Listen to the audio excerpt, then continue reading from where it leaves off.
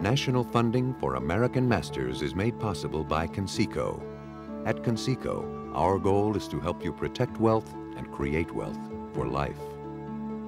Major funding for this program was provided by the National Endowment for the Arts, Rosalind P. Walter, viewers like you, and by the following. It's very rare that someone dies and the whole community seems to be part of that event. It's as if everything else stopped. And for that moment, the world turned around that, that event.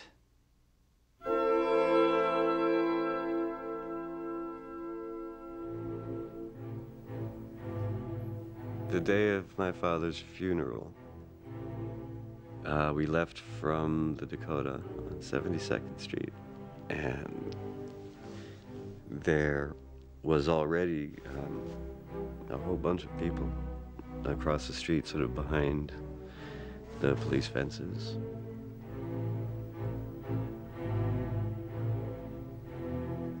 There was this phalanx of motorcycle cops and police cars leading this enormous cortege out to Brooklyn's Greenwood Cemetery.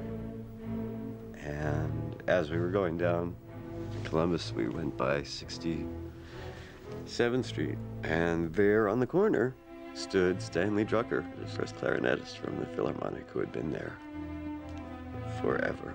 And uh, and he was standing all alone in the corner, just like a soldier watching the general go by or something. It was just unbelievable.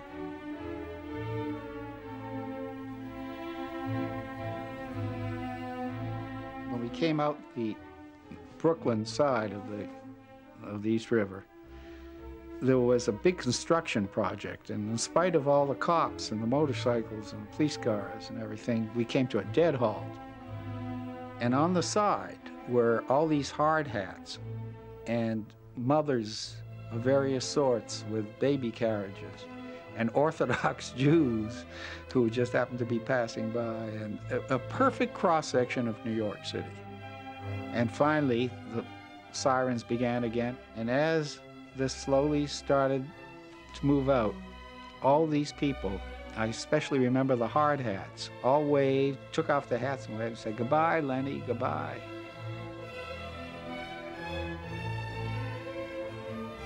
I, I can't think of anything, anything in the world that would have pleased Lenny more than that.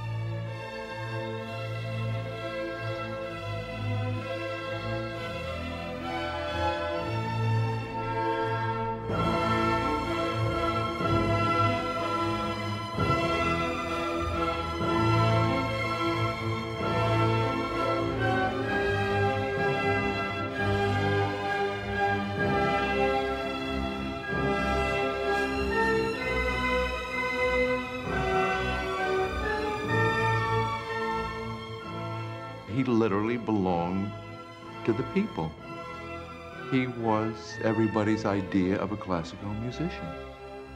He was remarkable and impossible to emulate.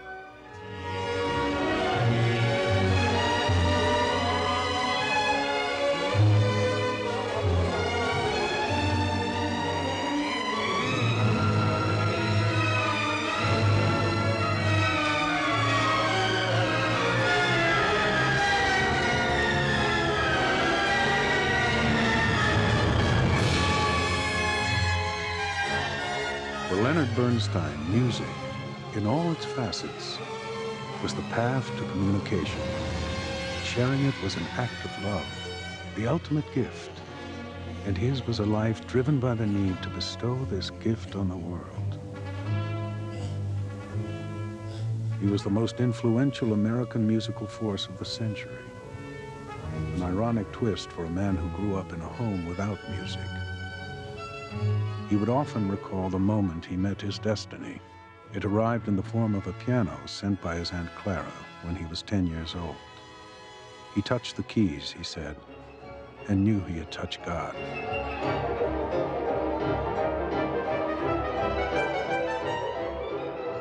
This was not the destiny Lenny's father had in mind for his son. For Sam, a Russian Jewish immigrant, the matter was clear cut. Lenny would be properly educated and then join him in the family beauty supply business. In the shtetl of Sam's youth, musicians were regarded as little better than beggars. In America, serious musicians were all imported from Europe. Homegrown Jewish boys had no chance. Lenny and Sam clashed bitterly. Lenny was as stubborn as his father. He clamored for training and found it wherever he could. By the time he began his studies at Harvard, he was virtually self-taught. Fifteen years after his first encounter with music, he was ready to take the nation by storm.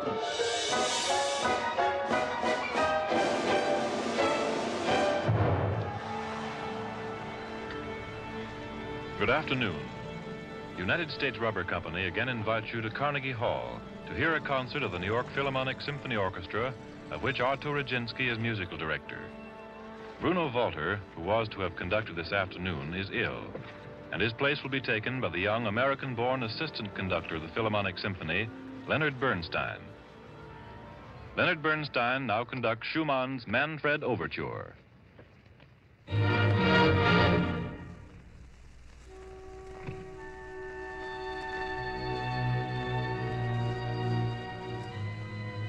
It was November 14th, 1943. I will never forget.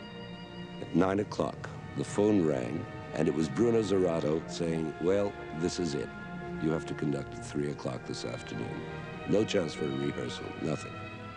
We had rehearsed the whole week with Bruno Walter, and we come in, and they say, did you hear Leonard Bernstein, who was the assistant, is coming to do the concert? This youngster of 25. So there I am standing in the wings, all a tremble, listening to Bruno Zirato tell the audience that they would not be hearing Bruno Walter that day. And that's the last thing I remember until the end of the concert when I saw the entire audience there standing and cheering and screaming. It was all a dream. I'll never forget that experience because it was the most exciting performance to me of the Manfred Overture that I ever played in my life. We knew that he was the beginning of a great conductor. It was like the movie A Star is Born. This was maybe the first real concert I'd ever gone to in my life. Probably the second one my parents had ever gone to. We went backstage to see him, and Lenny looked extraordinary. He was, I've never seen him look like that before or since. He looked wildly excited. Little did we realize that the next day, Lenny would be one of the most famous people in America. New York, New York, a wonderful town. The Bronx is up and the battery's down. The people ride in a hole in the ground. New York, New York, it's a wonderful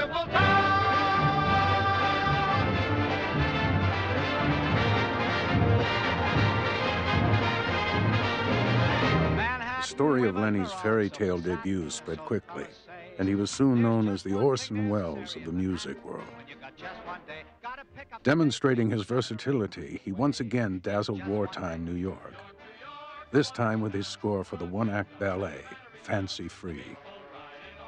It was his first outing in what would be an historic collaboration with a young dancer named Jerome Robbins.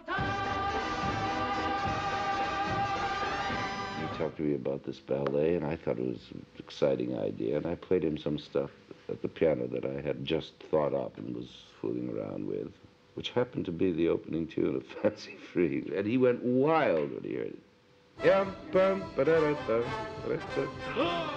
That's it, that's it. Yeah, and we were off to the races.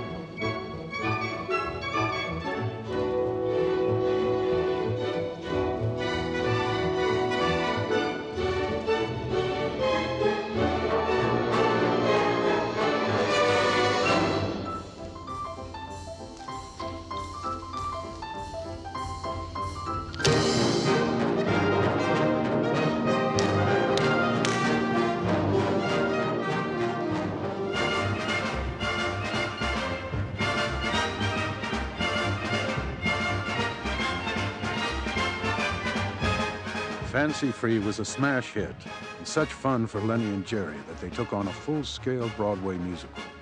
Again, about three sailors on leave in New York. They called it On the Town. The show seemed to catch fire from the first moment.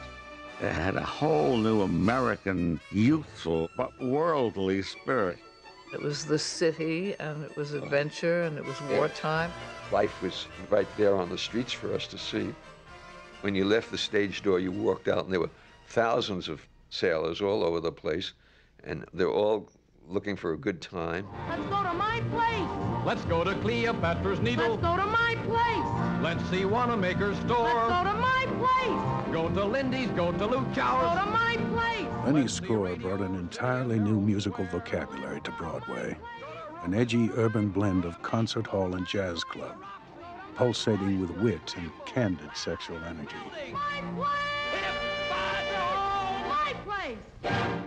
Lenny made a speech to me always about how the music figured in and why this was going to knock me flat on my face.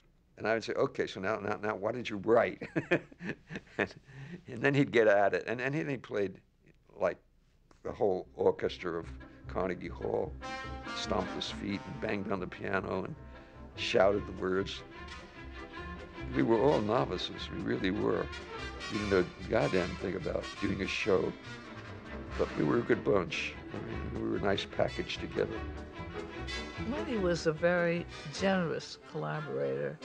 He was fun, of course, and wildly inventive and creative, but always generous, you know, open to ideas. He and I and Betty were already really good friends of a number of years.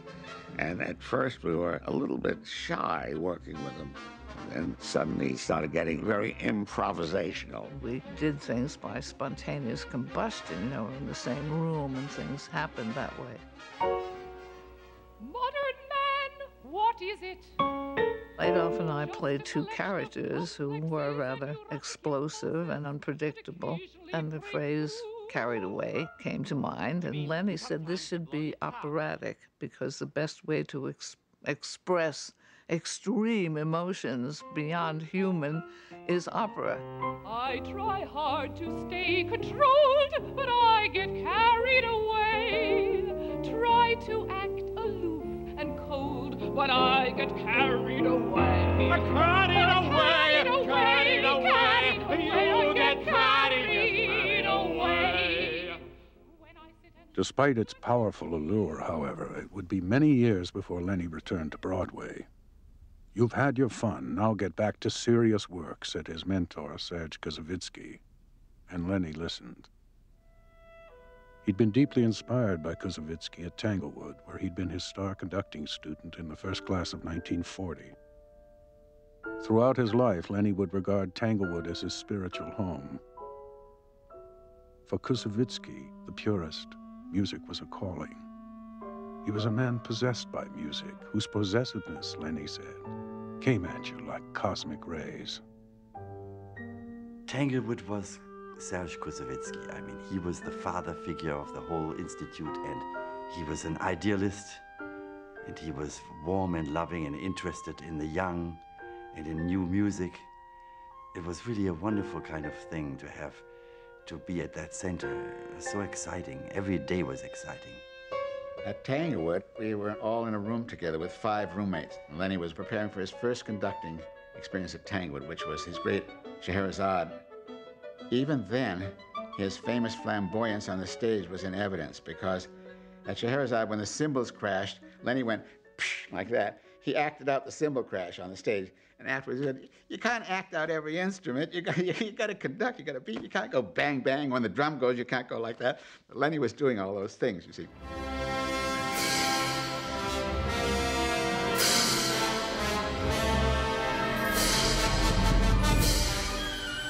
It's hard to believe how much talent he exhibited at that point. It was tremendous. Oh, God, I'll never forget the first time. I was so engulfed in the sea of sound. It came at me in such rushes, and I was conducting like a madman, like Christ on the cross, like a dying swimmer in, in the ocean.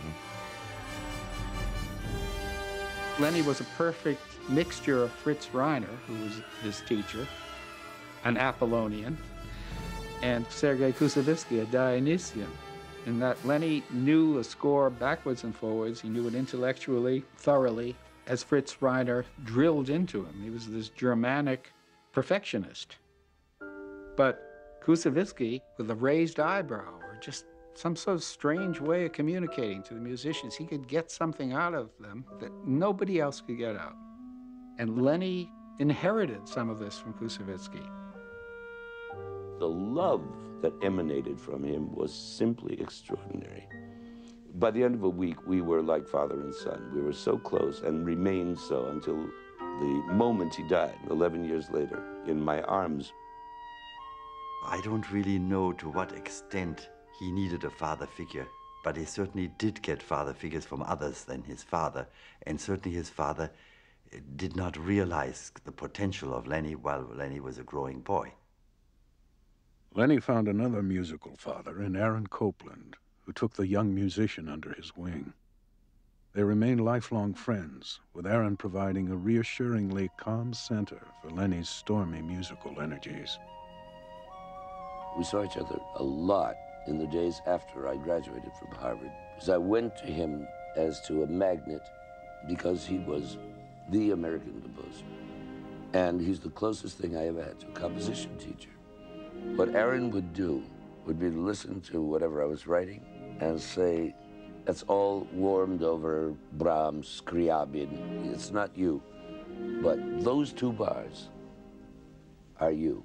You go home, you take those two bars and work on them and see what comes out.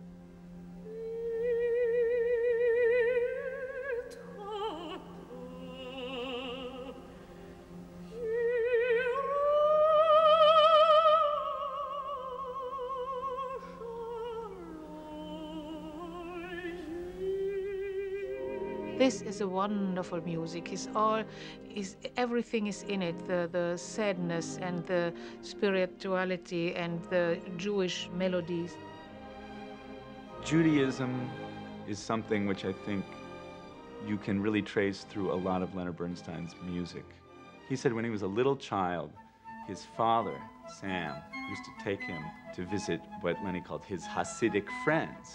And he remembers watching these guys in their with their payas and their hats and their big black coats and their tallis and everything, dancing and praying, and everything was in music, and it had this certain deep, ancient rhythm to it. And he said it was intoxicating, and he traces his passion for music, which was so extraordinary, to that setting.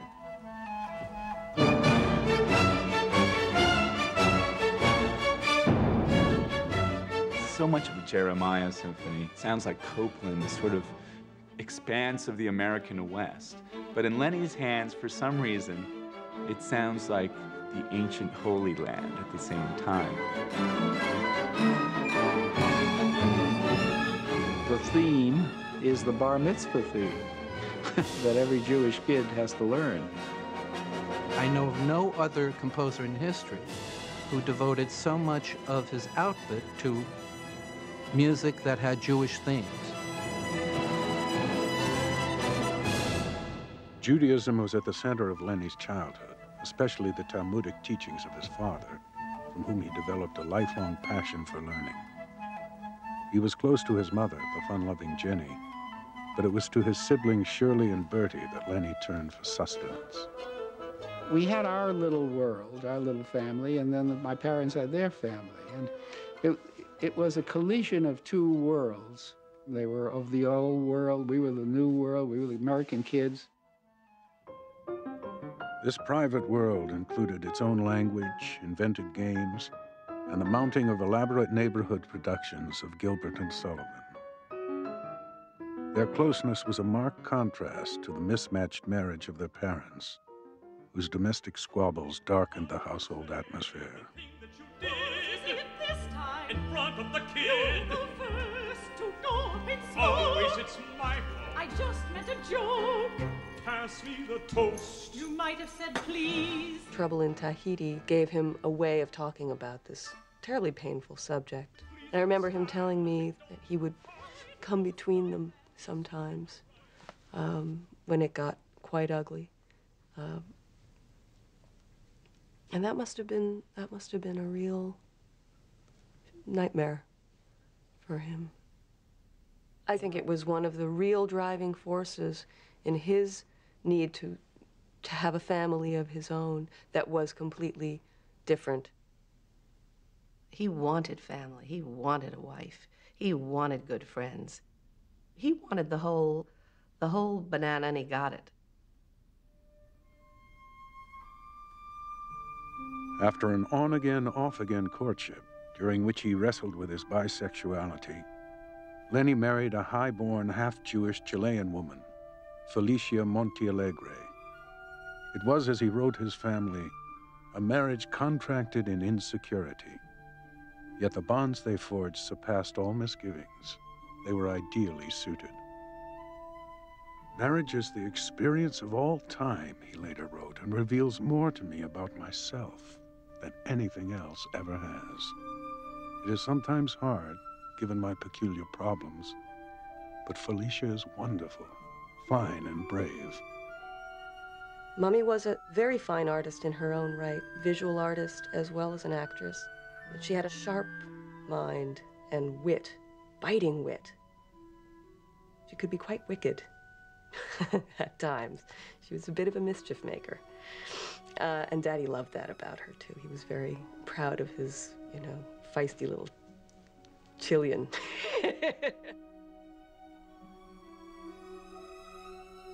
I think there's no question but that Felicia knew when uh, she and Lenny got married that Lenny had questions about his sexuality. But they decided that they loved one another so much that they really couldn't do without one another, and they had to at least give it a good shot. She just wanted to close her eyes to it and really felt that somehow that he would change and that with children he would change. But of course, uh, he never did. Felicia's value to him was incalculable.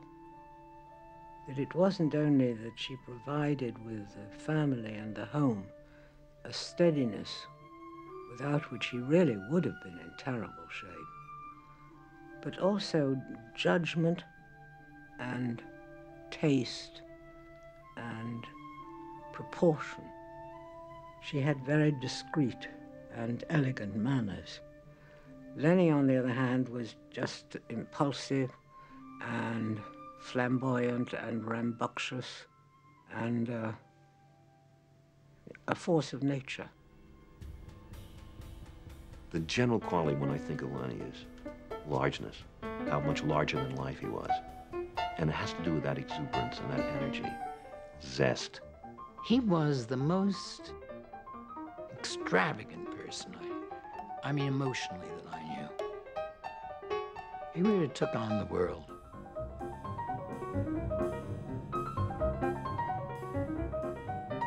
Gripped with a new fever, the man who had said he wanted to do it all became, by his own description, overcommitted on all fronts. He was in demand as a guest conductor the world over mobbed wherever he went. He wrote the film score for Elia Kazan's On the Waterfront. He composed his second symphony and made history in a legendary performance with Maria Callas, the first American ever to conduct at La Scala. Koussevitzky's death freed him to venture back to Broadway, again to great acclaim. Lenny always loved collaboration. That and his lifelong passion for words led him into ambitious theatrical territory, working with Lillian Hellman to adapt Voltaire's Candide. I must give you warning of what you're about to see. Shocking things are going to happen on this stage. You came here tonight to see a jolly potpourri of songs, jokes, and dances. Instead, you will witness war, death, famine, disease, petty and grand larceny, hate, greed, and a small amount of rape.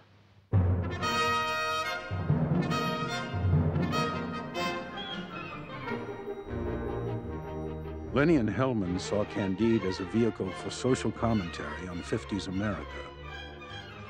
Voltaire's satirical novella attacked the notion of a divine plan in the universe, a notion he equated with a cynical acceptance of evil in the world.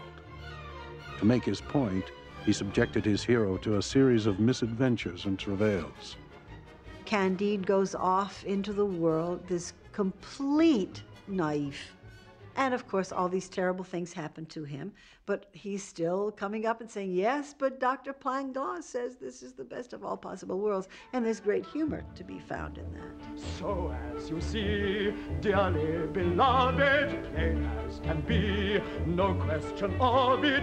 Everything's grand in this best of all possible worlds, perfectly planned in this best of all possible worlds. Yes, we fancy it. Lenny's setting of it rails against the absurdities and the injustices and the prejudices of which the world is full. It was written during the McCarthy era, and there was a book burning scene in our production that clearly was about McCarthyism. And many people at the time said this was a dangerous thing to do.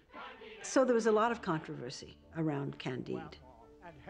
It's caustic, it's incredibly satirical, and at the same time, it's profound and it's eclectic and it has a broad frame of reference. It's highly literate. It's everything altogether. It's everything that Lenny was. The problem was that the book had nothing to do with the score, which had nothing to do with the direction.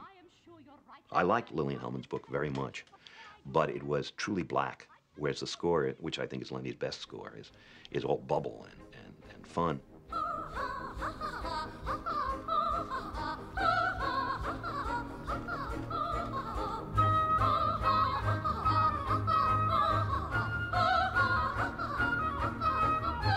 Candide was too sophisticated to gain widespread audience acceptance. But Lenny had a goal to write one real moving American opera that anyone could understand. In his next project, he would finally make the breakthrough he was looking for.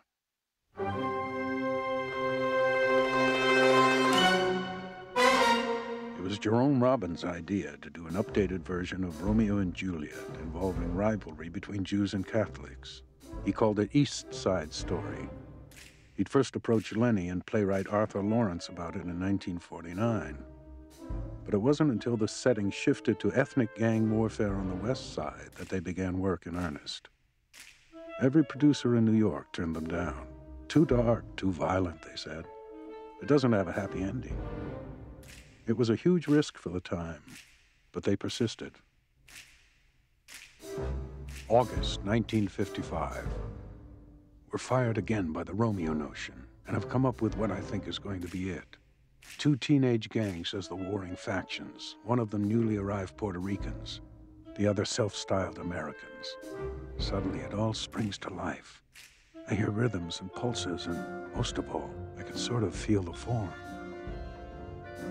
West Side Story is based on Romeo and Juliet, and in our version, it's a story about how love succeeds in a world of violence and bigotry, which unfortunately is why West Side Story is still timely.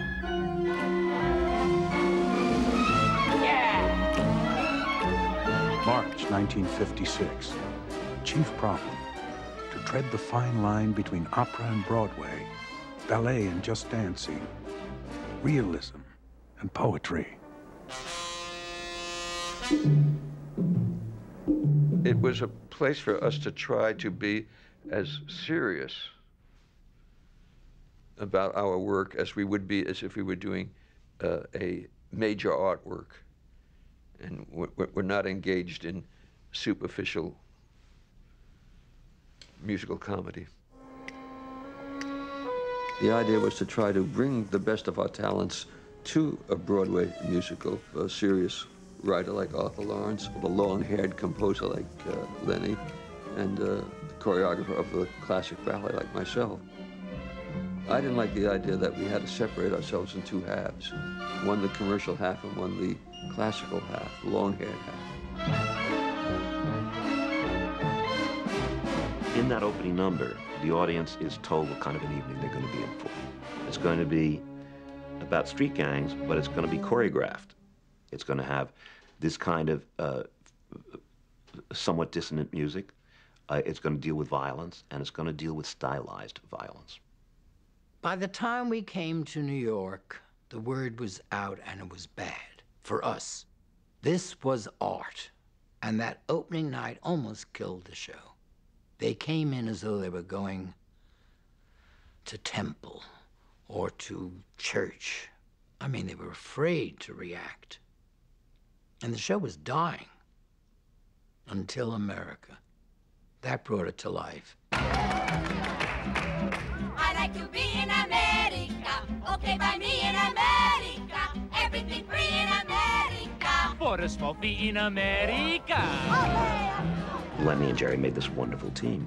Lenny smelled what Jerry wanted, and Jerry knew how to articulate, even though he wasn't saying, I, I want an F sharp there.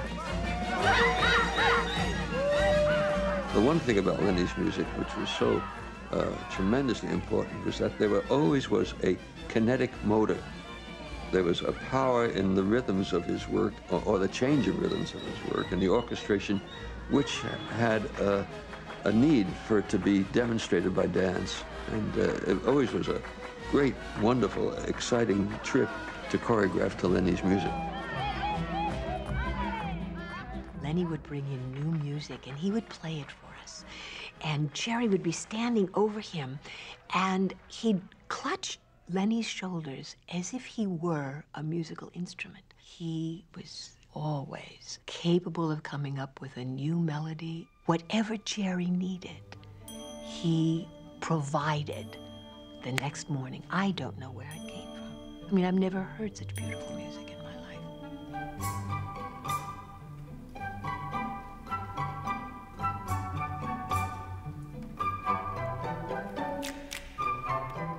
July 1957. These days have flown so. I don't sleep much.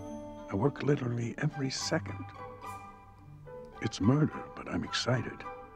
It may be something extraordinary. Lenny taught me one wonderful lesson, and I'm not even sure he articulated it, but he did it certainly by example, which is if you're going to fall off the ladder, fall off a high rung. He was always taking chances. The Jets are coming out on top tonight. We're gonna watch Bernardo drop tonight.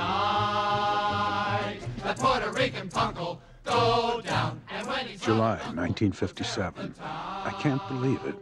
40 kids are actually singing five part counterpoint who never sang before and sounding like heaven. I guess we were right not to cast singers. Anything that sounded more professional would inevitably sound more experienced, and the kid quality would be gone. A perfect example of a disadvantage turned into a virtue. The casting was impossible. The show was much too demanding. It asked them to sing wonderfully, to dance wonderfully, and to act wonderfully, and to be 14 years old. It was the first show where the cast, every single member was named. Nobody was a chorus. Nobody was ever treated as chorus. We all had to have a subtext and we all had to have a history and characters. And he was very much the method, Jerry Robbins. I divided the company up into two groups, and they were not allowed to talk to each other.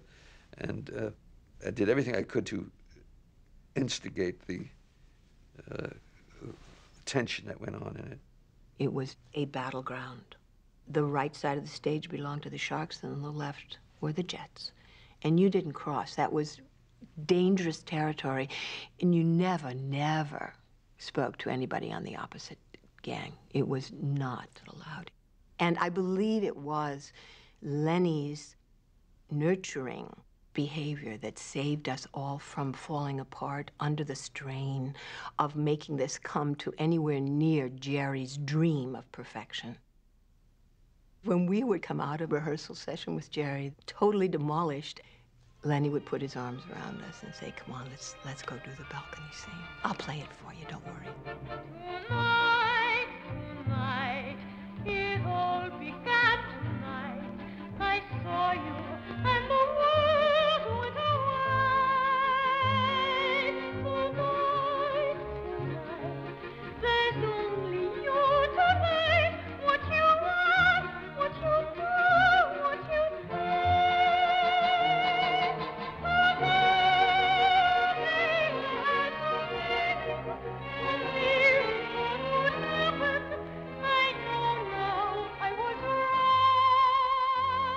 One of his favorite lines that I wrote was, Today the world was just an address, which is a line I could barely put on paper because I thought, really?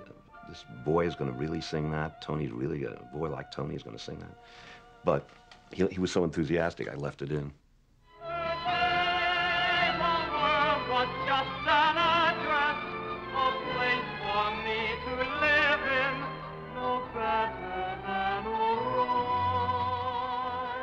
Lenny liked poesy or purple prose and kept pushing me to do that. He always wanted it to be fancier, and I always wanted it to be simpler. But we always sort of knew where we were going. It was a very easy collaboration, very easy. He had a real sense, which is absolutely innate, of how music operates in a theater. He sure knew when music should come in and how it should color a scene, underscoring. He was wonderful at that. The great strength of the music, apart from its innate excitement, is how it serves the melodrama of what's going on.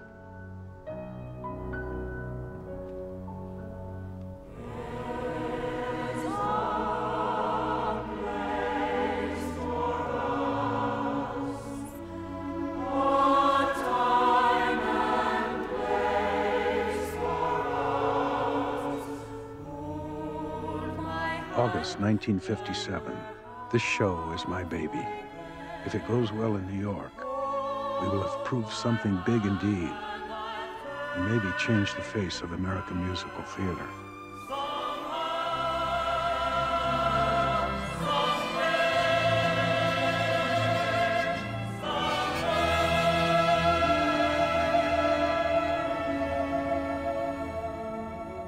The curtain fell after the death scene, and the bell was tolling, and they're taking off his body, and there's a place for us, is all you hear.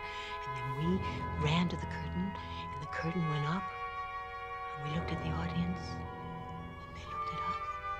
And we looked back, and I thought, dear God, they didn't get it. It is an artistic flop, and I was ready to call it a day.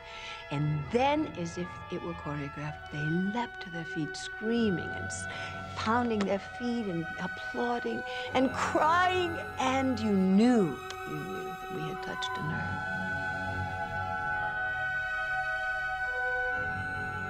Lenny has the Bernstein sound.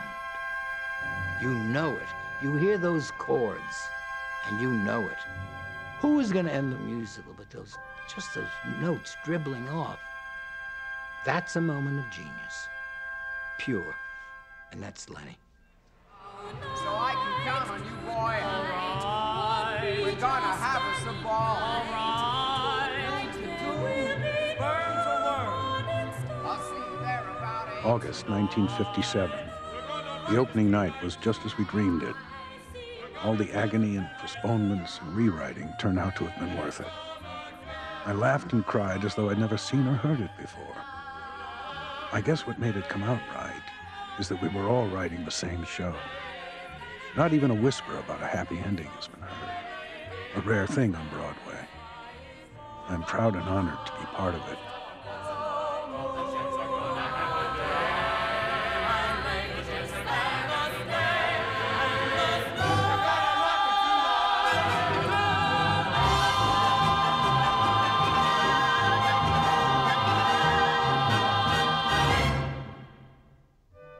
Shortly after West Side Story, Lenny landed the top musical job in America, music director of the New York Philharmonic.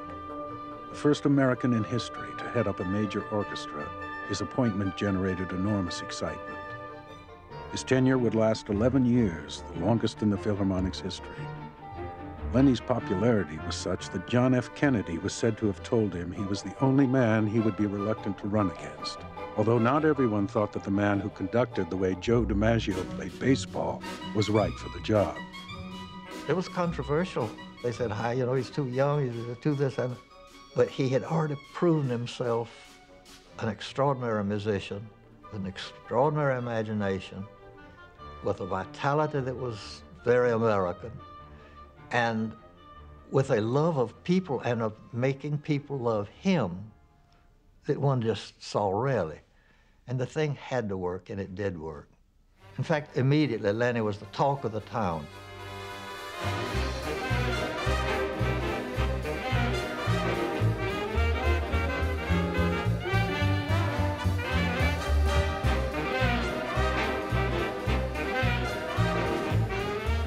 I remember one concert. The audience was shouting and applauding. We went out and took a bow, went out the wings. And then he said, let's go out once more. He said, Isaac, isn't it wonderful to be young and famous?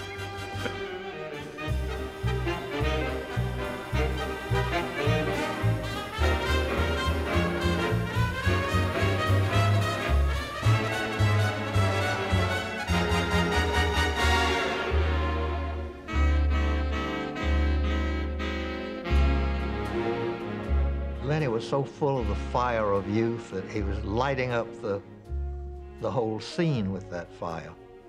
No concert that Leonard Bernstein ever conducted was anything less than special. Rostropovich once said to me, every concert must be event. And with Lenny, it was an event.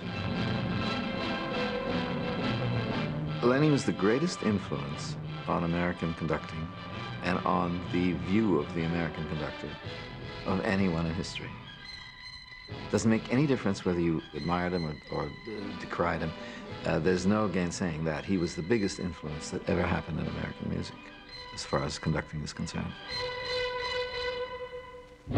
There wasn't such a thing as an American conductor before Lenny. There wasn't even such a thing as a young conductor before Lenny. Here was this incredible breath of fresh air, uh, this new approach to pieces we all knew backwards, this new uh, vitality that hadn't existed before. While I'm conducting, I'm absolutely lost in the music and with my musicians, breathing with them, pulsing with them, suggesting. It was as if he was making love to you when you were working with him. It was a real soul partnership. He could get one to do better than they actually could do, just by the power of his magnetism or whatever you want to call it, electricity. He used to look at you, and you felt that when he is crying, you are crying also with your instrument. When he laughing and full of joy, you are also, you know, like he he broadcast waves waves of energy to the players. His humanity always came through.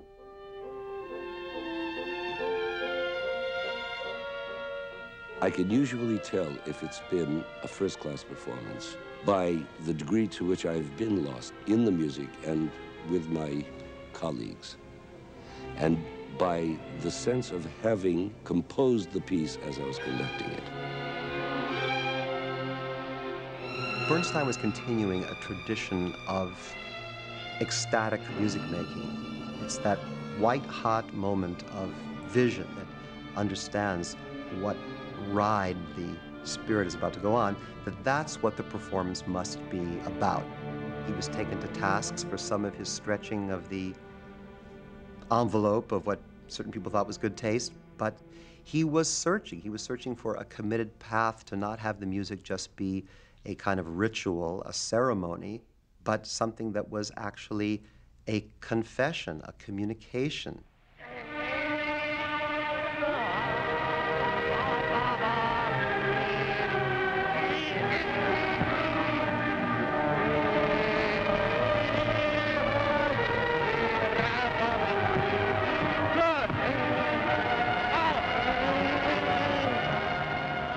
Here was someone who wept and laughed and leapt in the air, and uh, people say, oh, Lenny was a showman playing to the gallery. No, it was a response to what he was feeling to this music. He just wasn't afraid to show it.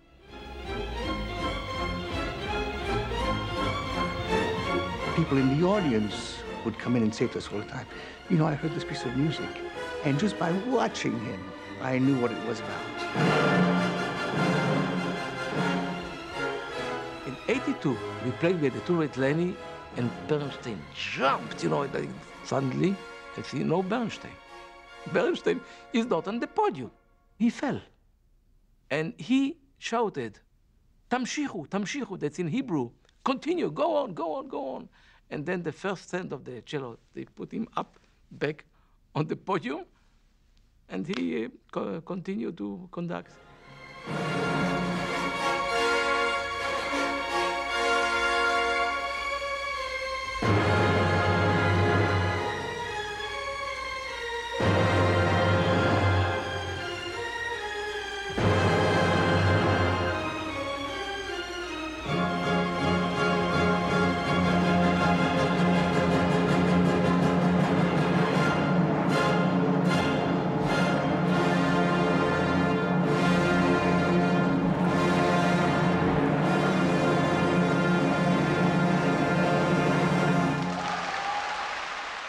He was conducting the New York Philharmonic, it was every Friday he would wake up and read the Times and the Tribune to find out that he had been an idiot on Thursday night. And then he would, after breakfast, get dressed and conduct a matinee.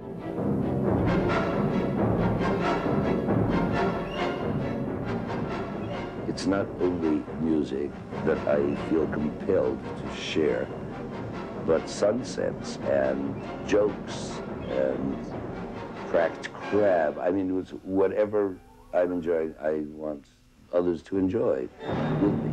At least one other person. Preferably 1,000, a million, I don't know, but anywhere from one to a billion people. The need to share was the driving force in his life. That basic need to connect with other people. If he could have sat down with each and every member of the human race and lectured extensively on matters musical, literary, etc., he would happily have done so. Luckily, he had television. Did you ever feel that you wanted something more than anything else in the world, and you said so, and they said, no, you can't have it, and you said again, I want it, and again they said no, and again you said louder and more excited, I want it, and again louder, I want it, until it seemed that something would break in your head and there's nothing left to do but cry. Well, that's like this music. Listen. I want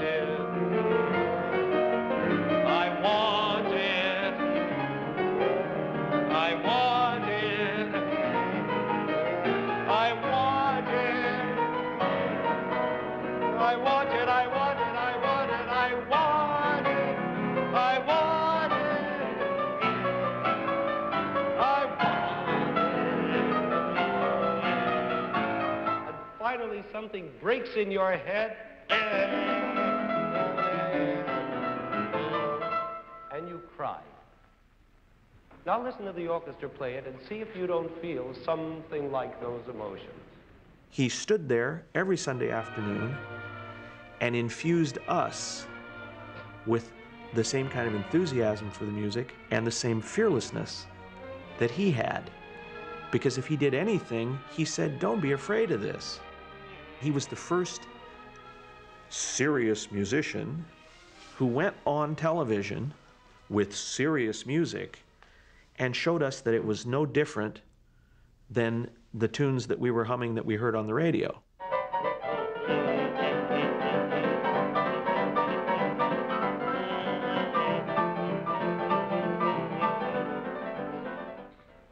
Very model of a modern nature general. I've information, vegetable, animal, and mineral. I know the kings of England, and I quote the price historical from Marathon to Waterloo in order categorical.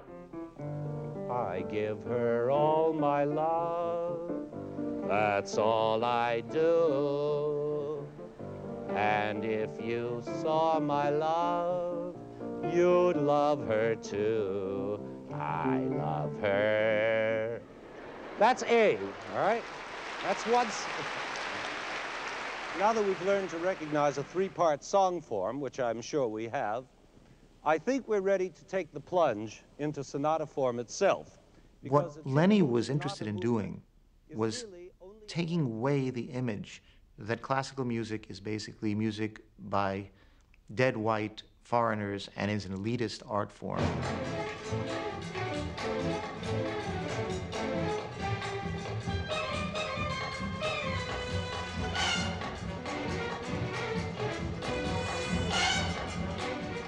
He was so full of excitement, like a kid, when he discovered things in music. It was a part of his life. It wasn't just a persona he put on for the camera. He called it being a rabbi, this question of teaching. Each program had a theme. Uh, what is music? What is sonata form? a lot of them were questions, which of course he would answer. Uh, what exactly is Viennese music? What is a mode? What makes music funny? What makes American music sound American?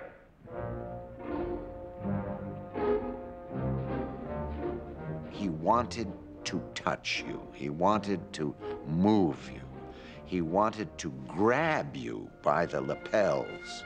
He was going to convince his audience of the beauty of what he was doing, of the clarity of why he loved it, a love that he wanted to share. And share it he did. On American television for 15 years, with television audiences in the millions all over the world. In some countries, the young people's concerts even beat out Bonanza in the ratings. Nowhere was Lenny's extraordinary mind and encyclopedic knowledge more apparent. He wrote every word himself. Relishing his role as the Pied Piper, Lenny became a national institution and America's roving musical ambassador.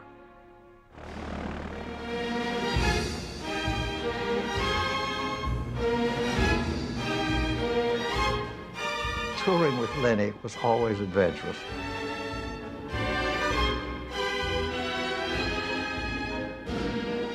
He dropped the Bernstein potion into the stream of consciousness wherever he went.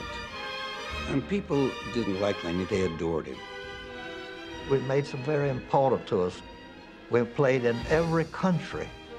We would be on the front pages of every newspaper. We'd be on every television and radio programs in some of the countries. And the heads of state came, the ruling juntas would come.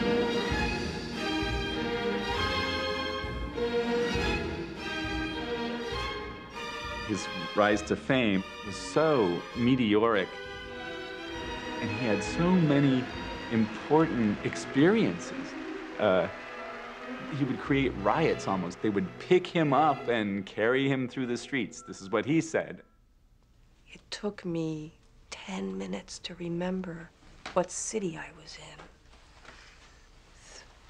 It was, I was, I was Mahler. I was Beethoven. And we would look at each other and say, He moved himself. He moved himself again. Yet again.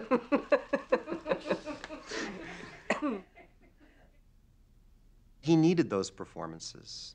He needed that adrenaline rush. He needed that approval. But it prevented him from writing anywhere near as much as he should have. When you look at the number of pieces he wrote just before he took on the New York Philharmonic, this is a steady stream of pieces getting ever more personal, ever more important up through West Side. Then the Philharmonic happens, and suddenly there's much less work, much less. He would come back from a conducting gig, usually in Europe, and be very high on the experience of the adulation and, and the music that he had made, someone else's music. And he would come home for an, an extended composing period. And uh, he would be very excited about this, of course. This is what he wanted. But it would take him a while to come down from the high of the conducting experience. He was all in his outward mode when he was on the road. Then he would have to come back and completely change into his inward composing mode. And it was really hard for him to go from one to the other. He really stripped his gears every time. It was it seemed to get harder and harder.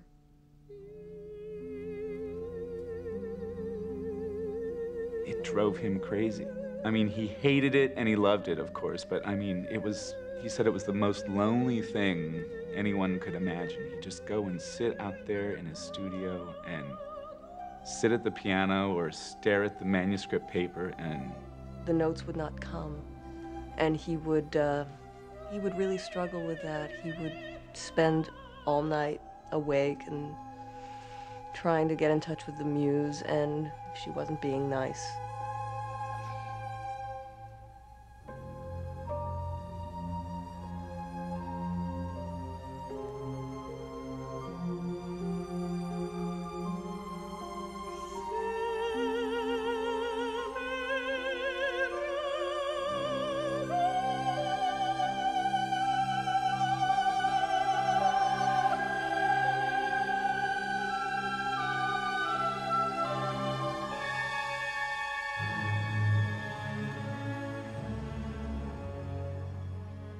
When he composed, he would be lying down on the couch, and he would get in the sort of half half asleep state, and something would hit him, and he'd jump up and go to the piano. It was a, like an out of time experience. He'd be sitting at the piano, and a whole several hours would go by, and he, he had no feeling that any time had gone by. And he'd look, and there was a whole pile of pages with notes on them. And he'd look at it and say, Jesus, did I do that?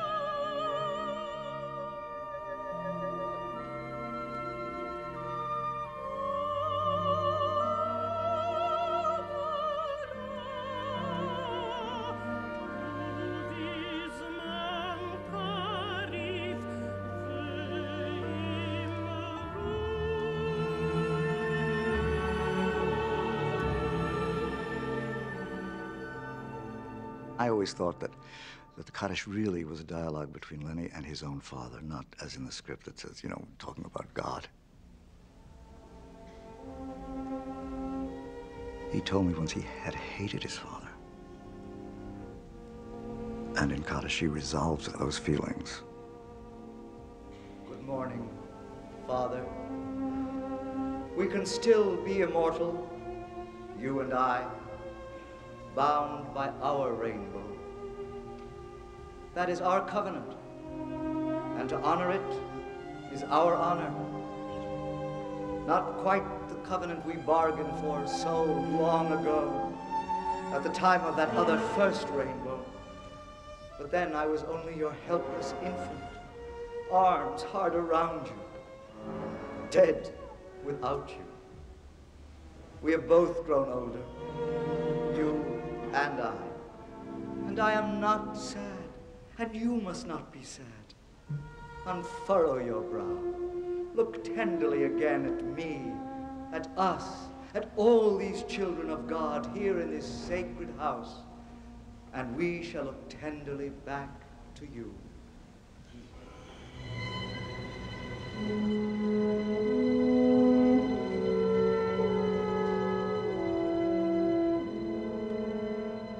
When he was finishing Kaddish, everybody was really intense and scared, and we didn't know if he was going to do it in time.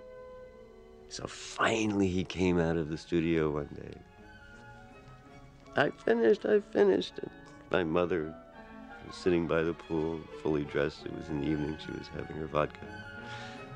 And she jumped up and down and ran and jumped in the pool with all her clothes on. so, so everybody was so excited. And then we all jumped in the pool.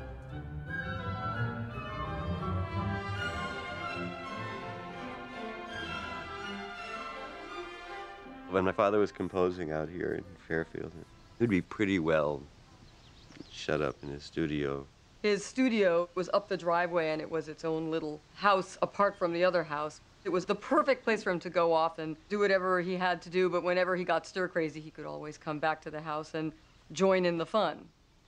The house was always, it seemed, bursting with people who were laughing and making a racket. I had this sense of grown ups as being these sort of rackety, hilarious creatures who, who were always making a ruckus and having a wonderful time. It was such fun. And it, you had this feeling that everything they did was right. From when they were serious to when they were goofy, it, everything they touched was gold.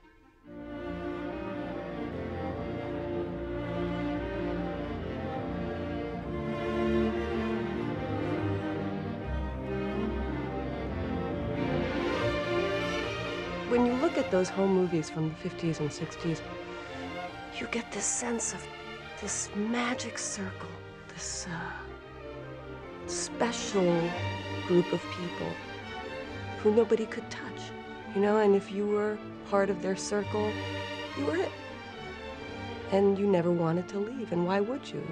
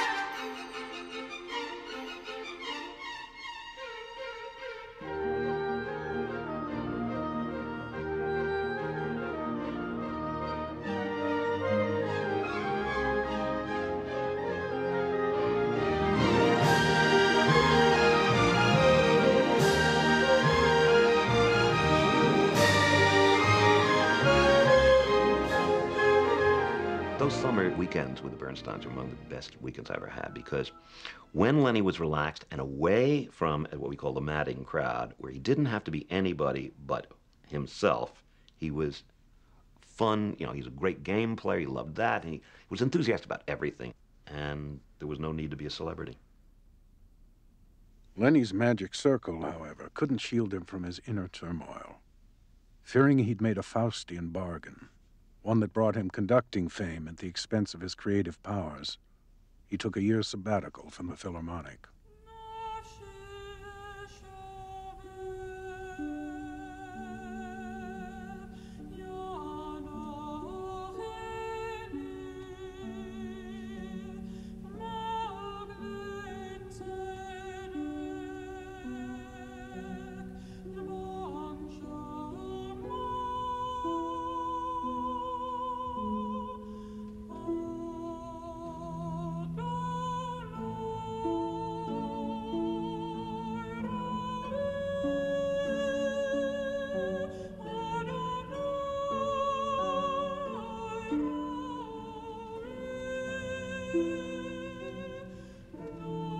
I wrote a lot of avant-garde music of various kinds that year, and I threw it all away. And what I came out with was a piece called the Chichester Psalms, which is as simple and tonal and tuneful as any piece you can think of, because that was what I honestly wished to write. There is in Lenny's music a quality of instant communication. Many composers are not really that concerned about communicating except to their fellow composer. Uh, whereas Bernstein was interested in communication.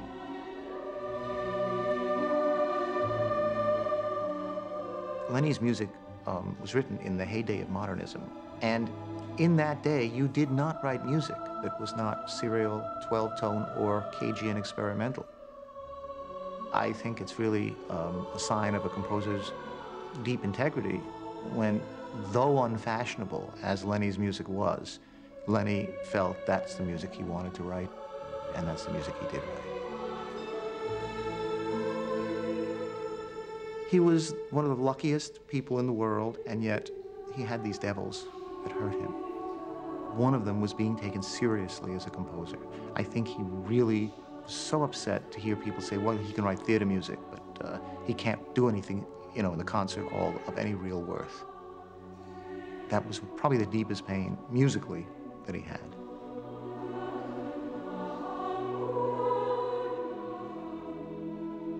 How he rated himself as a composer, I think that was a central conflict in his life. I guess most because the reception of his serious works was never as wonderful or as enthusiastic as his popular works. And I think he felt that very deeply. I really do. I think that what he should be, a conductor or a composer for Broadway or for the classical world, that was never resolved in his life.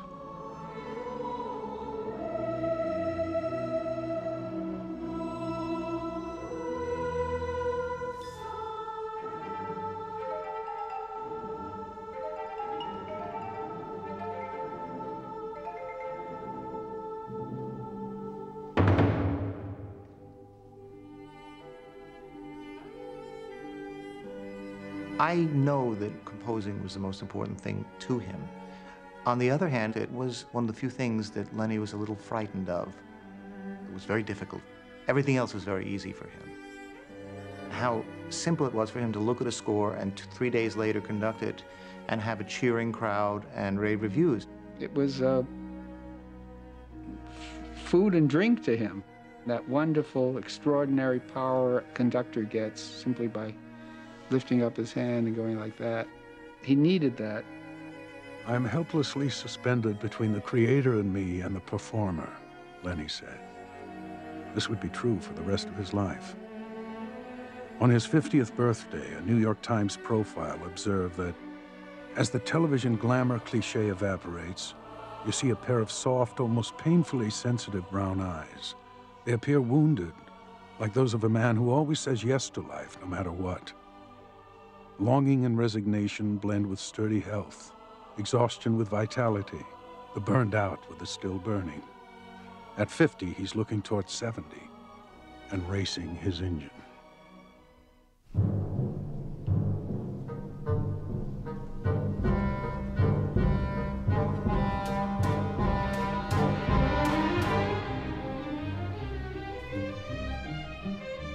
Go to the Wailing Wall was uh, very moving for him.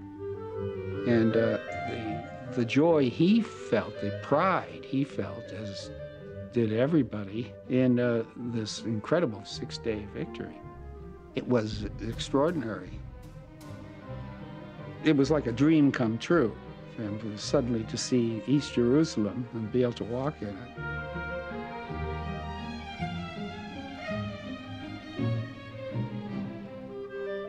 Lenny had basic loyalties. One was to Israel, which was in his blood and his cells, and he gave of himself unstintingly there in a way that they will never forget.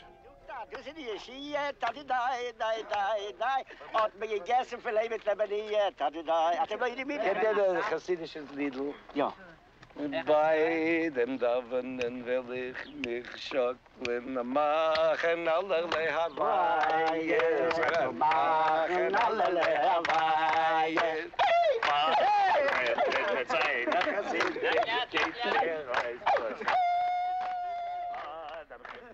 My first encounter with the Israel Philharmonic occurred at a time when its name was the Palestine Symphony Orchestra. It was an incredible encounter. We all seemed to feel with this first program that it was the beginning of a long relationship. It's one of those things we just always knew. Israel, I think, meant to Bernstein his roots. It was the earth and the people from whom he felt that he was a living descendant. And he was there at every crucial moment, and it was always his gift to Israel. I mean, he always conducted for free there. When I was there in 48, the war had broken out because naturally the day that the state of Israel was declared, they were attacked simultaneously from six sides. And on the day they became a nation, they became a nation at war. I played for the troops a lot, and sometimes the orchestra couldn't go or wouldn't go. I went behind lines and played for the commandos, the Palmach. Three days after Beersheba was conquered, Lenny took the orchestra to the desert, and 5,000 soldiers were there. The people were sitting in chairs, but on the rocks.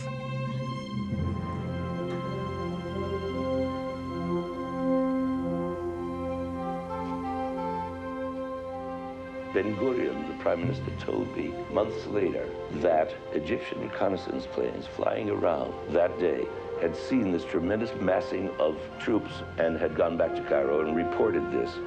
Uh, Cairo concluding, of course, that they were massing for an attack from Beersheba.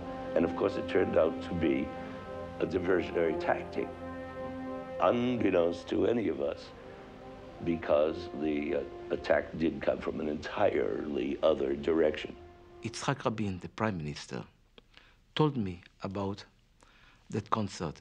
He was there. He was a big commander there. And he told me that it was one of his greatest experience in life when he saw this orchestra playing for the soldiers.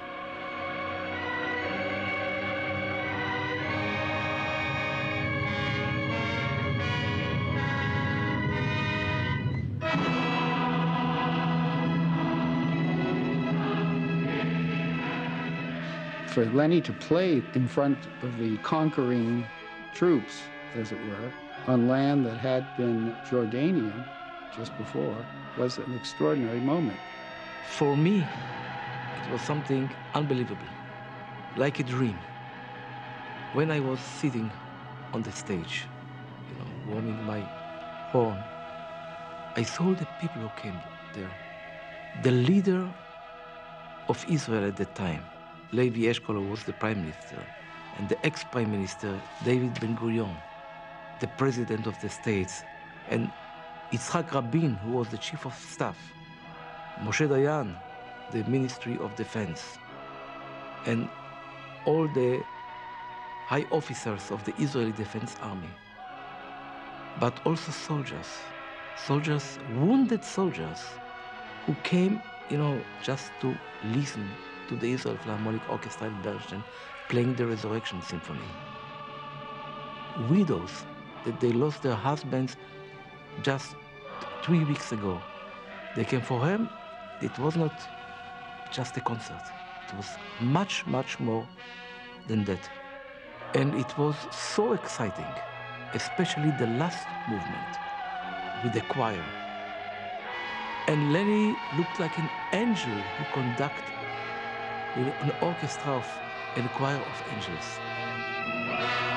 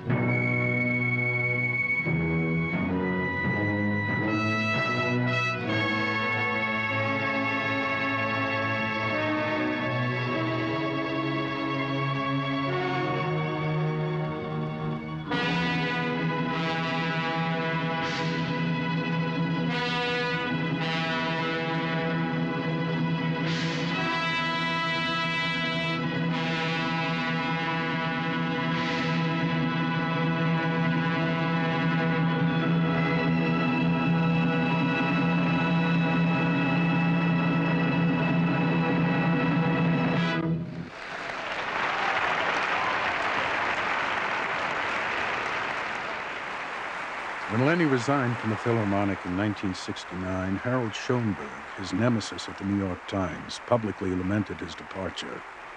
He seems more intent on substance than flashiness now, he wrote, and is turning into the kind of conductor that his talent originally indicated. Therefore, a typical Bernstein gesture, he is leaving. The muse across the river is calling. The muse was Gustav Mahler, the city Vienna.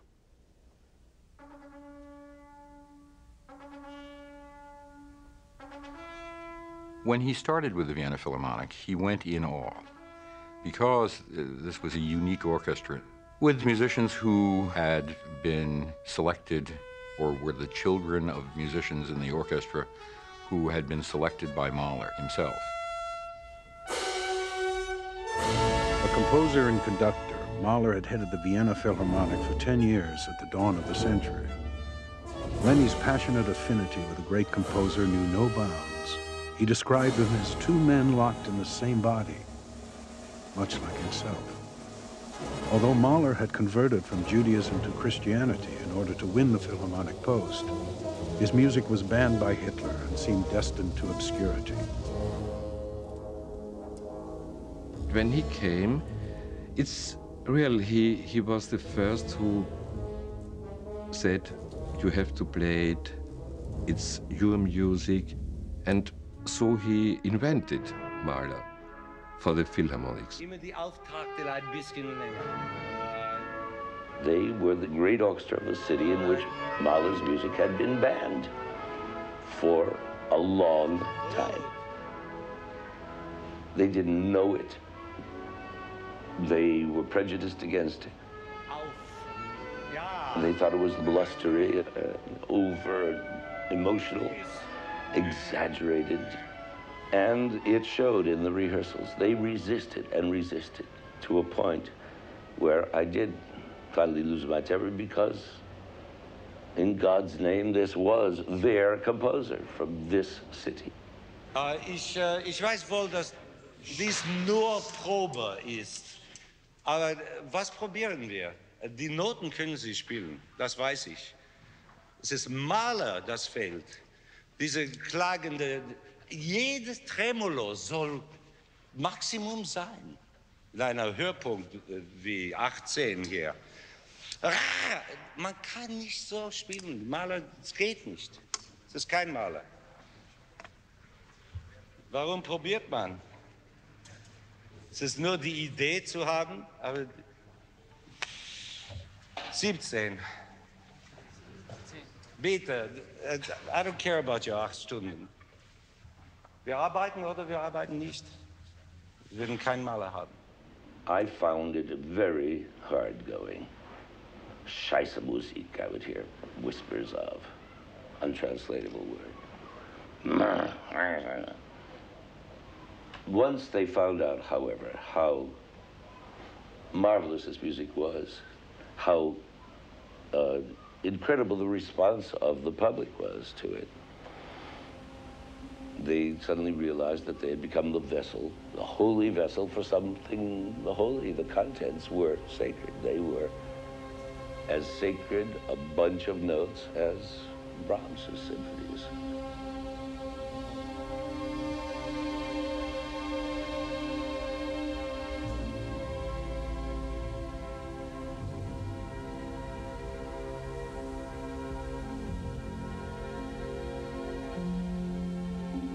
His music is so close to my heart, Lenny wrote. I feel attuned to it. The melancholy, the nostalgia for childhood, for innocence.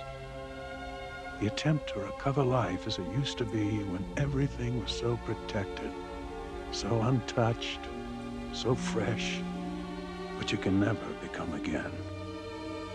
I understand his complexity. I love even his weaknesses, and perhaps some of them are my own.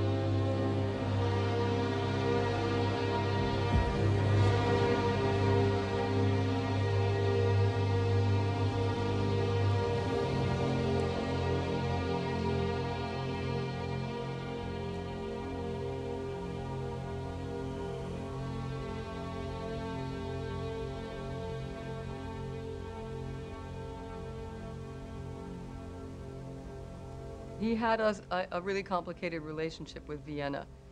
You know, it was uh, the seat of Nazism, or one of the seats, and, and he never forgot that for a minute. But I think he felt some tremendous satisfaction knowing that he was seducing them in a way into accepting an unremittingly Jewish person into their lives. But the Vienna Philharmonic is incredible. And my father had his musical peak experiences with them, no question.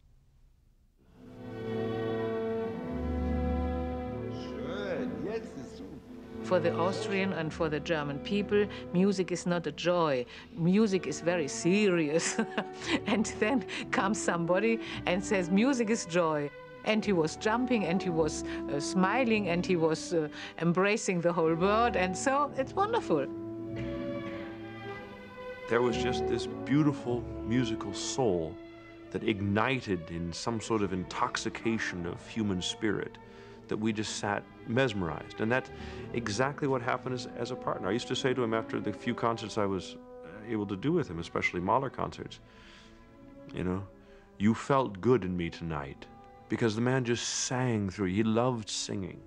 I think that was a real regret. I mean, I believe him when he said that he really wanted to be able to sing, and he really couldn't. He sang with his terrible, ugly voice. Uh, he sang, was very was very funny. But we understood also his ugly voice, what he wanted to to to uh, to, to show us. A singer to a, a, conductor is like a circuit. What do you say? Um, electrical uh, uh, circle. This comes from one to the other. It goes and it comes and it floats. And this is making music.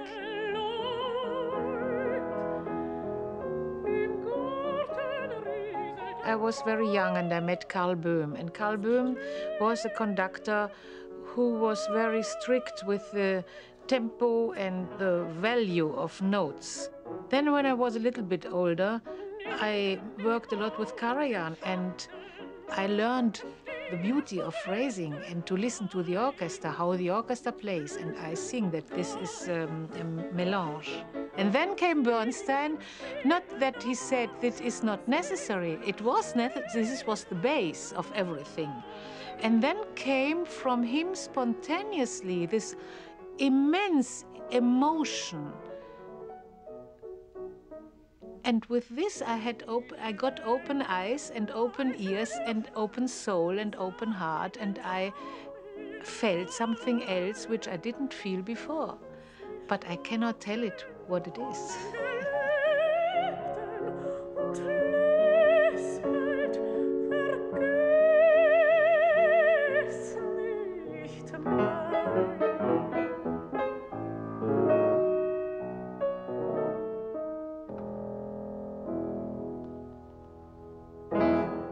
I remember working on the, the Lieder eines fahrenden Gesellen. So I, you know, all prepared. And after the first four bars, where the singing starts, it says above it just a bit slower, langsamer. And this is supposed to go between 63 and 60, which is, you know, the difference between a heartbeat and a heartbeat. You know, there's about that much difference. It's, it's, and so I go and all prepared. Well, now, Lenny, tell me, what you know, what are we going to do? This is exciting. It's a great moment because this is a this is a, a paradox in Mahler's music that Leonard Bernstein is going to clean up for me. This is great.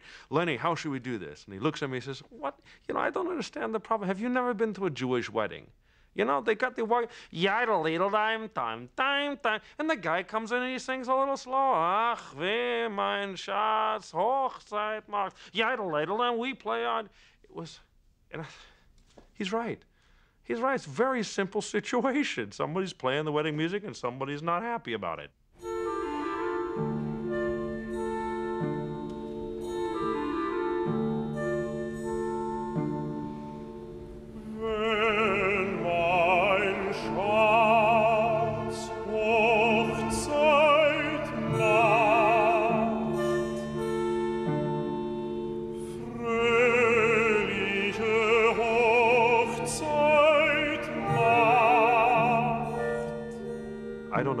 Anyone that sang with Lenny who didn't feel that they sang in a different dimension and consciousness, if you want to use those kinds of words, than, than what they were used to. And you couldn't help but grow from that. He, um, he loved song so much and found it a, such an intimate mode of expression. I will sing the Lord a new song to praise him, to bless him.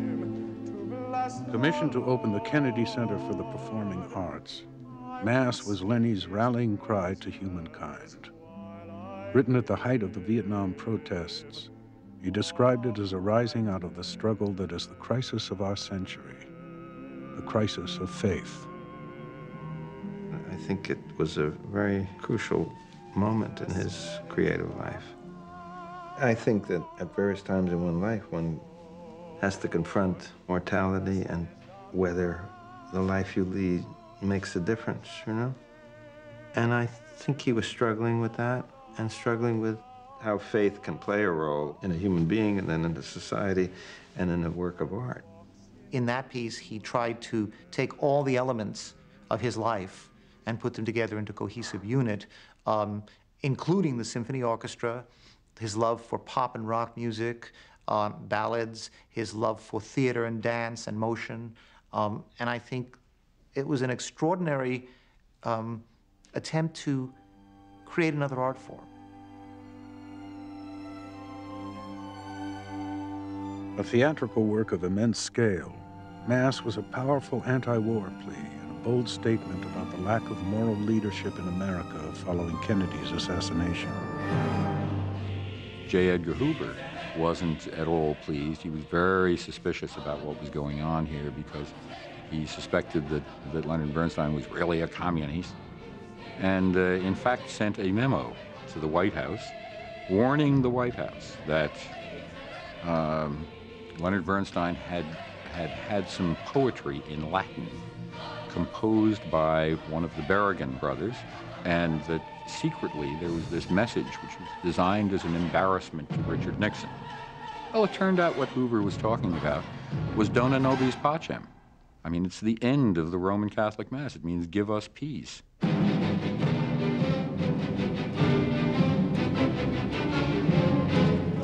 nobis pacem. Hic est enim calix sanguinis mei!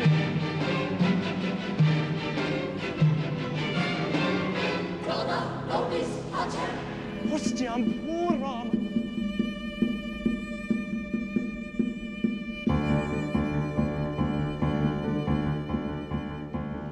I remember final rehearsals to the accompaniment of jackhammers.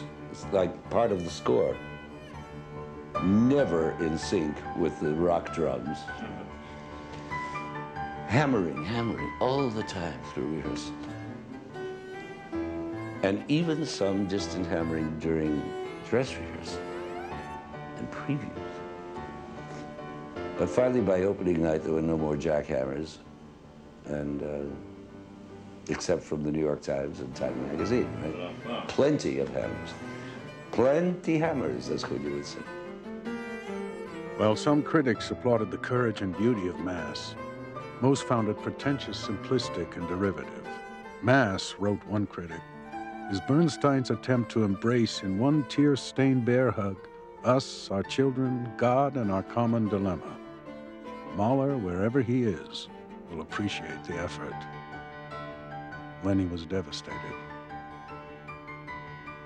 As a conductor, he was off the Richter scale in his success. And so when he had failures, it was that much more of a fall.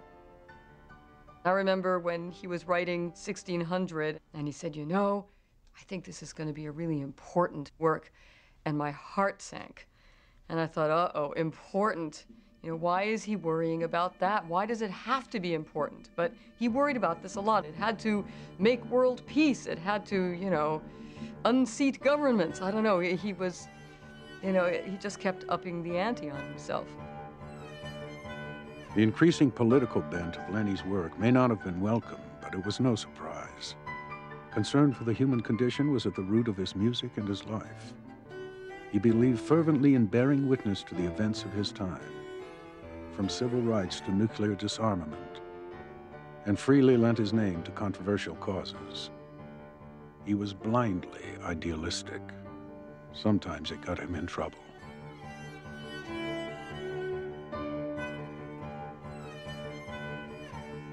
It's important to remember that a lot of people really hated Lenny. A lot of people were offended by him.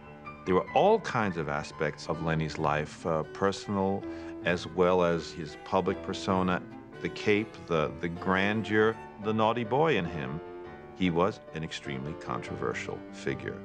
He decided to live his life in public. He was always having press conferences. It's a very dangerous way to live. I think the world wanted him to be outrageous. They wanted him to wear capes and not coats.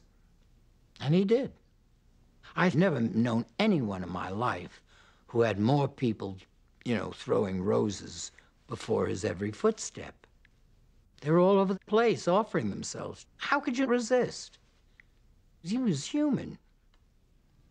You know, fame is terrible stuff. It's almost impossible for people to handle. It's very, very hard to see yourself as a grain of sand rather than the center of the universe. He thought he had permission to live and say and do whatever he felt. Part of him knew, though. Part of him always knew. He was far from being self deceived. I don't think he could ever get away from himself.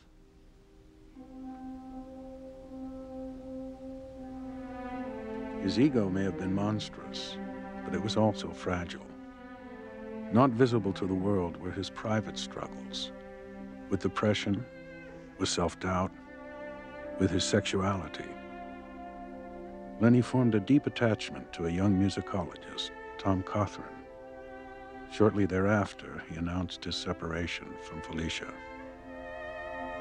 It was difficult for her to accept his homosexuality, and he knew it. And I said to her, if you love him, you accept it all. She finally did, but it hurt him.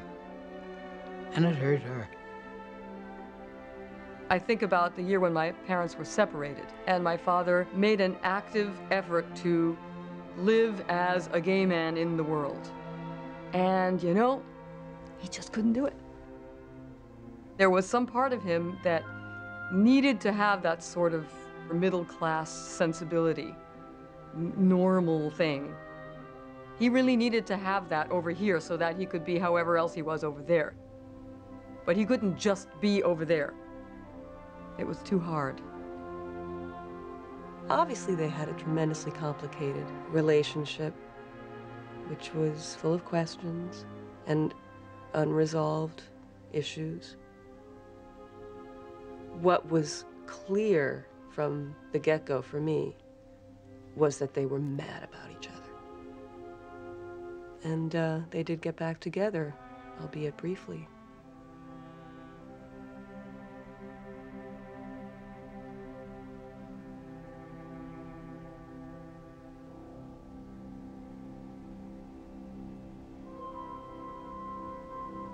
After Felicia died, of course, there was this tremendous burden of guilt that he felt that somehow he was responsible for her death.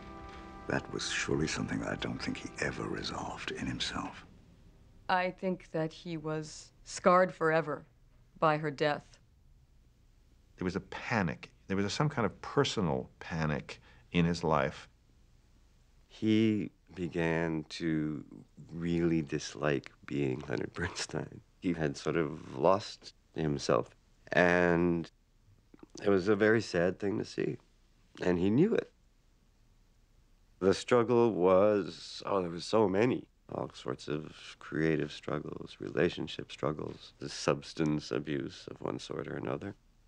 At times, he would be very hurtful to people. His problems were so great, his pain was so great at that time, that he was trying to find some peace and, if not forgiveness, some resolution out of it.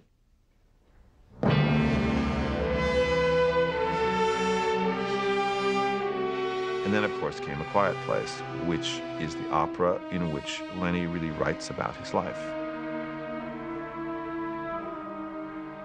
Steve Wadsworth, who wrote the libretto, had just lost his sister in an automobile accident, and Lenny, of course, had lost Felicia to cancer. So there was uh, a commonality between them uh, of this theme, considering death and suffering and the loss of one's beloved.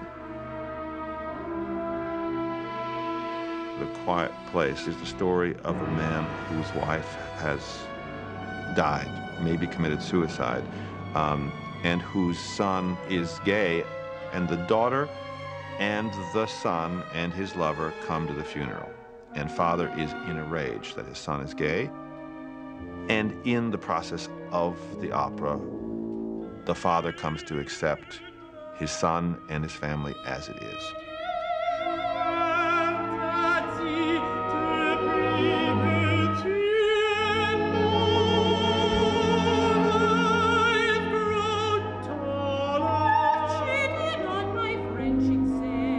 Whether Lenny ever felt he got his father's approval would be a really hard one to know. Whether his father ever said, I love you to him in some way that he felt was a lot, I think, of what he was searching for and what he needed.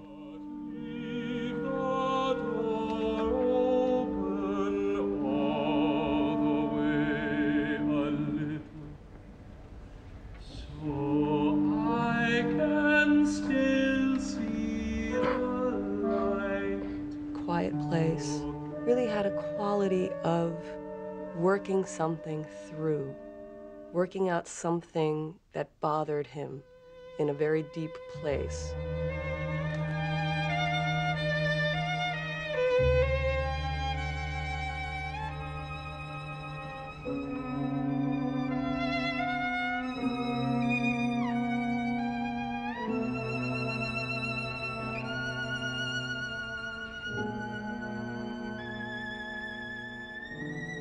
Was so hard to get my father to write that music. He was depressed, he was distracted, he was fearful and and and and blocked and to get him to write anything at all was was uh, a chore. And that and Stephen felt that that was very much his job was to keep Lenny going, to just get him to the piano.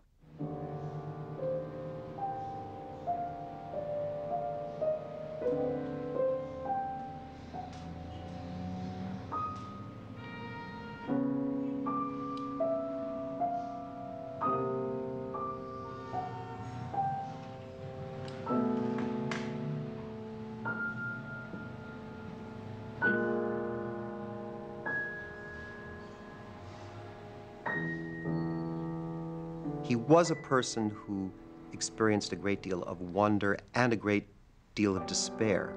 And perhaps that despair was necessary for him in some way. Like the Mahler symphonies he adored, like his own compositions, which follow this tortured route, trying to find their way from despair through a process into joyfulness.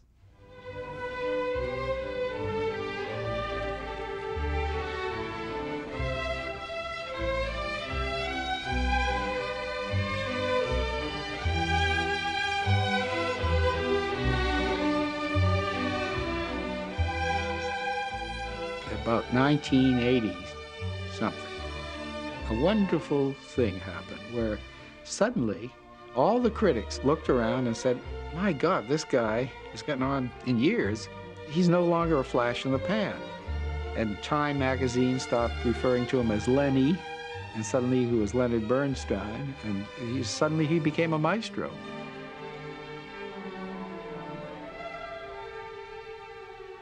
He had by that time become such an icon of music and also of international peacemaking because he had done so much work for peace throughout his life.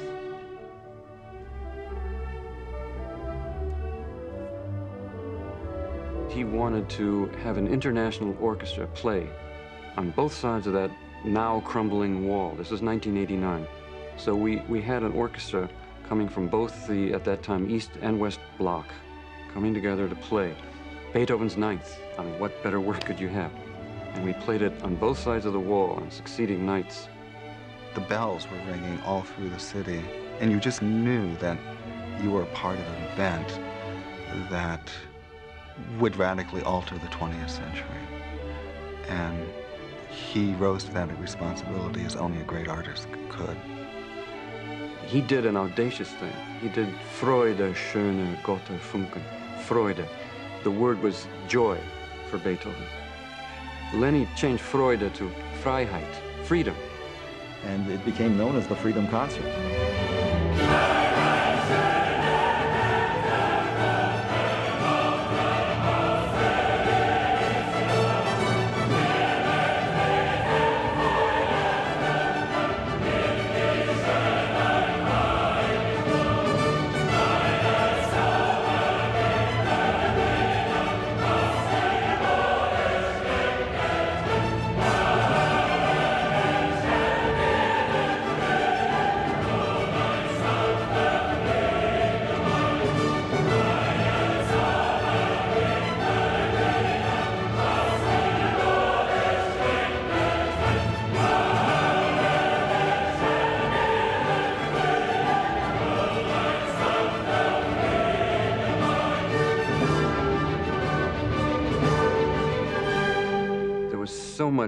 Not just joy, but suffering and forgiveness in the same performance.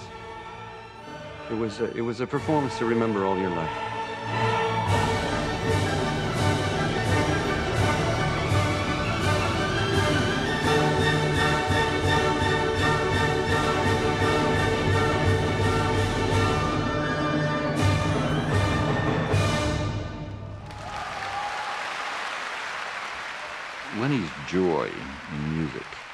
All the time. And when he was making music, that's when he was having the most fun. And that's when he was experiencing the joy that he found there. At my very advanced age, I now have to make the choice of how best to serve music and serve people through it. Should I spend whatever days the good Lord gives to me, going back to my first love, the piano? Should I just go on being a conductor? Should I devote myself only to being a composer? And I've been considering this problem because when you get to be 71, you consider such problems. And my decision has been to spend most of the remaining energy and time the Lord grants me in education and sharing as much as possible with younger people. Lenny was a natural teacher. He couldn't help but comment, teach, change, suggest, do whatever's necessary to make the recipient understand even more what was possible.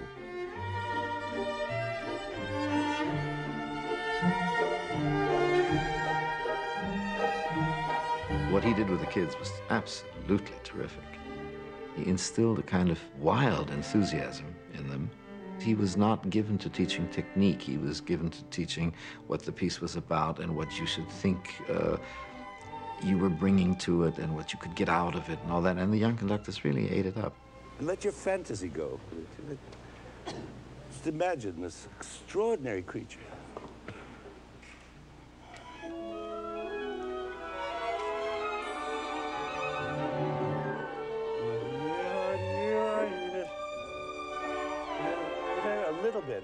One of the great things about conducting is it's a medieval craft. You only learn it from the sorcerer as the sorcerer's apprentice. So there's like always a line for conductors that goes right back. And just as Lenny would say, well, Fritz would do it this way, and Kusi did this. Every musician who played under Lenny, every conductor who studied with him, every singer who sang for him, we're all out here, you know, and we're all teaching and we're all inspiring because of that thing that Lenny gave us that opened something in all of us.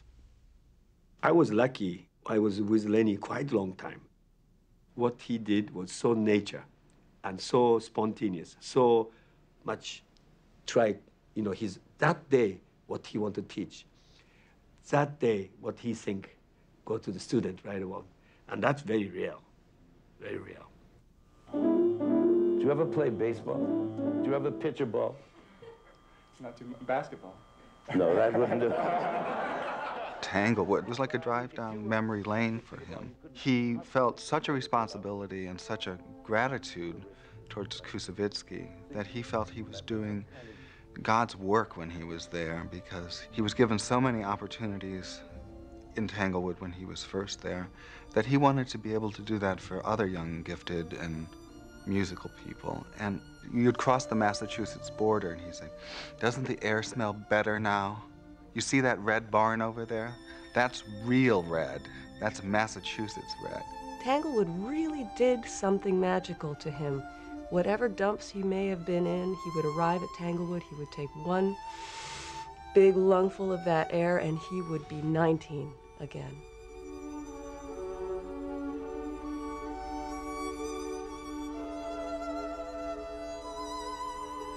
Tanglewood is free mind, try everything, young.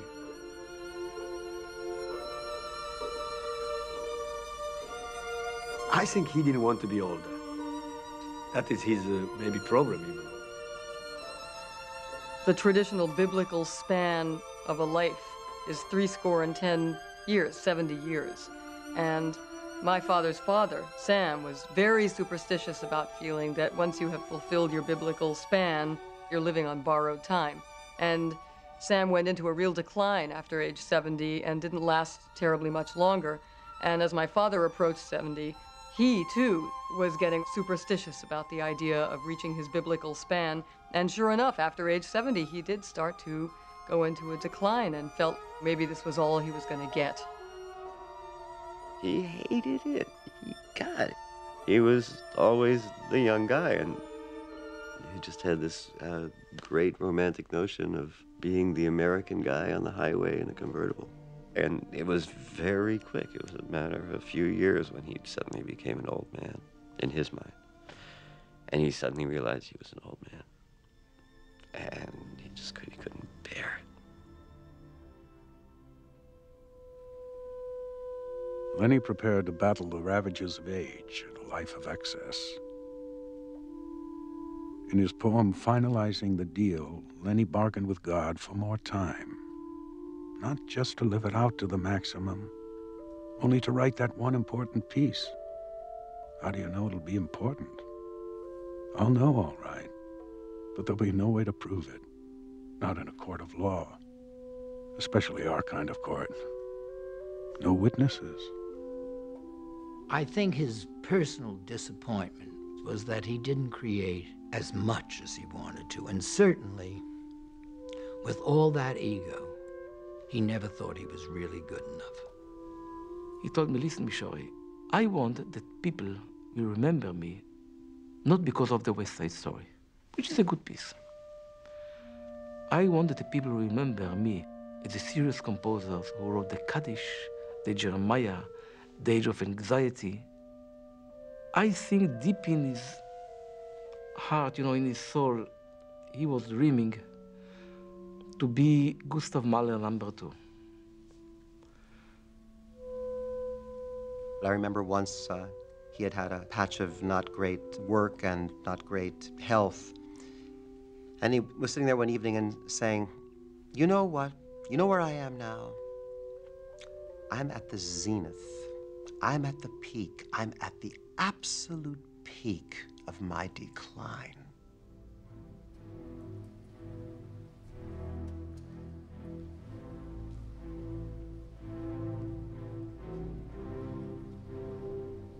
His last concert was given in Tanglewood, and that was, of course, a day that, for anybody that was there, will never forget. There was uh, a foreboding about that day.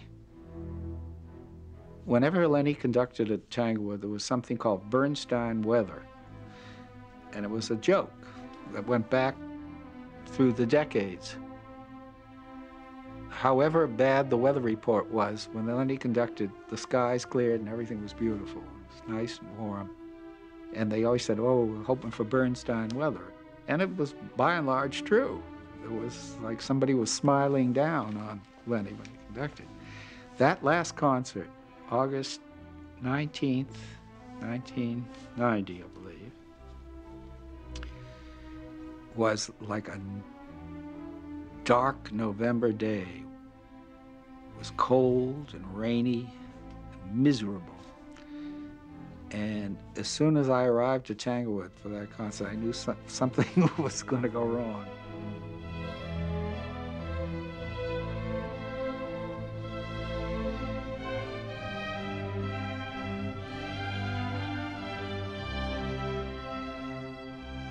Towards the end of his life, all the things he felt insufficient about or not realized, he would take out on the music and sometimes stretch it to a point beyond the limits that it could reach.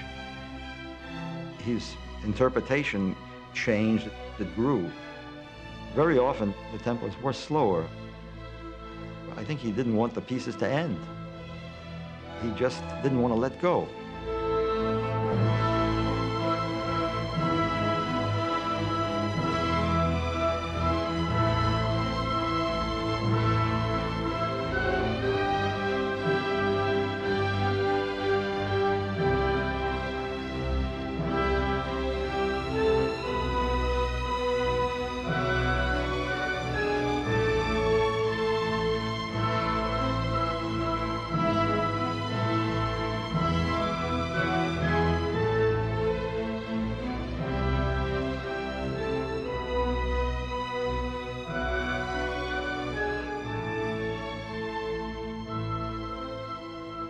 After that evening, we're sitting there, and he says, You know, that's full circle.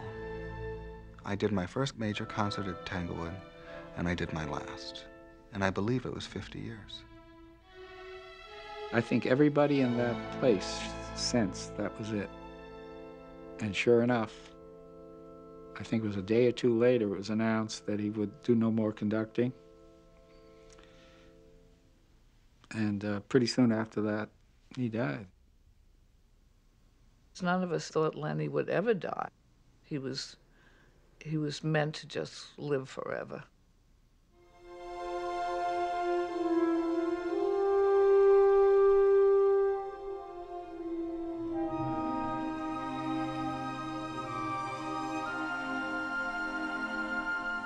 His music is intensely autobiographical, so the pieces do reflect his uh, early, middle, and late years in that way you know, optimistic, reflective, and then concerned, sort of almost desperate that all of the uh, disparate themes will somehow come out in the end, that there will be some kind of resolution and peace. And that word peace was so important to him. Uh, when he talked about world peace, when he talked about music bringing you peace, or even the idea of a quiet place, it was always that hope that somehow there would be a quiet sleep, a, a slumber in which there would be no nightmares, the hopes of an insomniac that there will be this last sleep where he can smile and be proud of all that he's done.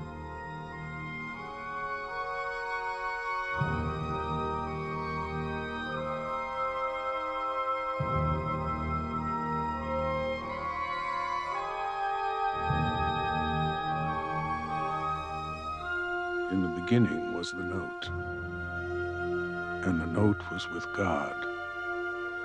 And whosoever can reach for that note, reach high and bring it back to us on earth, to our earthly ears. He is a composer, and to the extent of his reach, partakes of the divine.